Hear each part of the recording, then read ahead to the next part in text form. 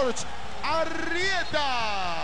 Parte habilitado, encara al arquero Carlos Sánchez. Lo fusila, señores, sobre la cuenta en Sechura. Bocana 1, Cantolao 0. Lo hizo George Arrieta. El tema de los goles, lo habíamos hablado, José, en la previa, es importante, porque si tú cierras una serie con varios goles, puedes manejarlo mejor. Pero este buen gol porque hace un buen gesto técnico, mira, que lo trata de empujar y de contrabote. En la parte externa, y con pie un remate ¿ah? difícil. Claro, es, una, es un gesto técnico difícil.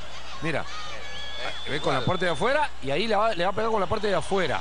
Buen gol. Control dirigido, sí, excelente. O sea, excelente el pase también, bien pre- preciso prácticamente, ¿no? Vino en- en diagonal. La conlleva como debe ser con la parte externa y remata con la parte externa, que es más interesante todavía. Claro, hizo Muy una orientación, una recepción orientada. Él mismo se la acomodó con la parte de afuera, ¿no? Así, ese pase vertical es tremendo, te rompe línea.